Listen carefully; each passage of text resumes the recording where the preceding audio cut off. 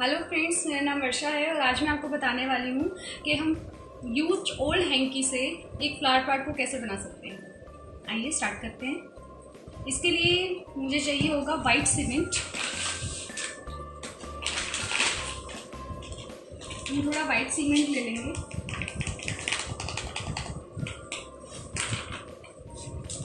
इसमें हम पानी मिक्स कर देंगे। इसको हम मिक्स कर लेंगे। इसमें कि हमने वाइट सीमेंट में पानी मिक्स कर लेना है। आप कंटेनर प्लास्टिक का ही लेना क्योंकि अगर स्टील या कुछ और लेते हैं तो उसमें वो जम जाएगा, आपका कंटेनर ख़राब हो सकता है। इसलिए मैंने रिस्पॉन्सिबल लिया है। ये हैंकी इसमें हम डिप कर देंगे अच्छी तरह।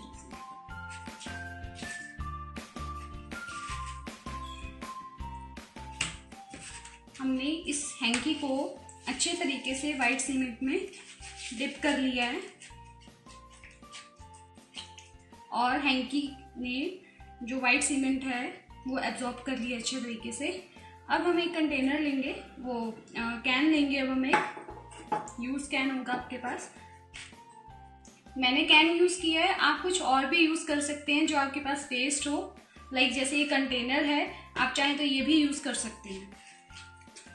अब हम इस कंटेनर को किसी न्यूज़पेपर या फिर वेस्ट किसी पेपर के ऊपर रख लेंगे। और इसको हम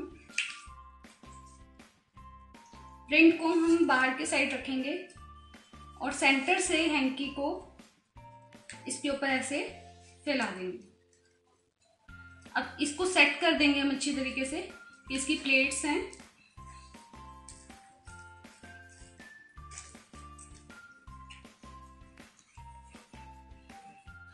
और जो बाकी ये जो एक्स्ट्रा बच गया है, हम ये भी इसके ऊपर डिप कर देंगे ताकि इसका बेस जो है,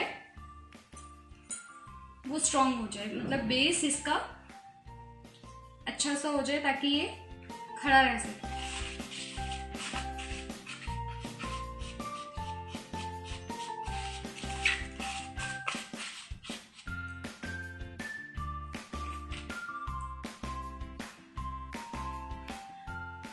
अब आप इसको रख दीजिए सूखने के लिए। ये एक या दो दिन लेगा आपको सूखने के लिए। ये देखिए, जैसे मैंने पहले से ही एक ऐसे ही बनाया था हैंकी से, ये बिल्कुल ड्राई हो चुका है। सेट हो गया है बिल्कुल उसी कंटेनर में जिसमें मैंने ये दोबारा से लगाया है। जब ये सेट हो जाता है तो उसके बाद मतलब एकदम जैसे अभी ये हार्ड है, वैसे हार्ड नहीं होगा। उसके बाद आपको फेविकोल से पूरा इसको कोट करना पड़ेगा। ये देखिए, मैंने इसको फेविकोल से पूरा कोट किया है। अब हम इसको डेकोरेट करेंगे। इसके लिए मैं एक अर्लिक कलर यूज़ कर रही हूँ।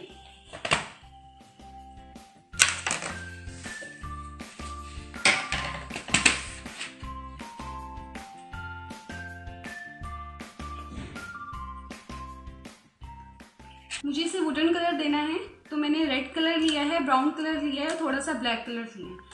आप चाहें तो अपनी चॉइस से कोई भी कलर इसमें ले सकते हैं।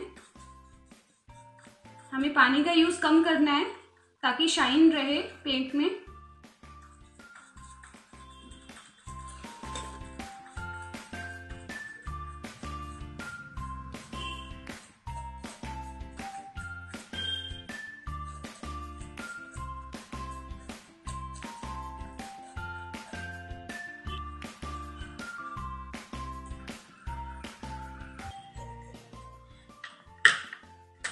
देखिए गाइस हमने इसको अच्छे से कलर कर लिया है।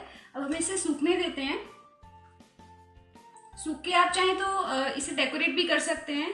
आप चाहें तो इसको डेकोरेट भी कर सकते हैं। और इसके अंदर आप ग्रीन फ्लावर्स भी लगा सकते हैं लाइक अ ट्री ये हमें स्टेम लगेगा ट्री का और ऊपर आप ट्री की शेप भी इसको दे सकते हैं। और इस पर फ्लावर्स भी लगा सकते हैं। देखिए गाइस इसको अच्छी तरीके से कलर में कर चुकी हूँ। अब हम इसे सूखने देंगे तो हमारा फ्लावर पॉट जो है बिल्कुल तैयार हो जाएगा। आप चाहें तो इसको ऊपर से और भी कुछ स्टोन्स वगैरह से डेकोरेट कर सकते हैं। इसको हम एज अ ट्री मतलब यूज़ कर सकते हैं कि एक एंटीक की तरह कि हम इसमें ग्रीन लीव्स लगा के और ये ट्री का स्टेम हो और ये ट्री का लुक लगेगा बिल्कुल। और चाहे तो आप इसमें फ्लावर्स लगा सकते हैं। बट ये किसी को ये पता नहीं चलेगा कि ये हैंकी है, जो आपका यूज़ किया हुआ है और ओल्ड हैंकी है।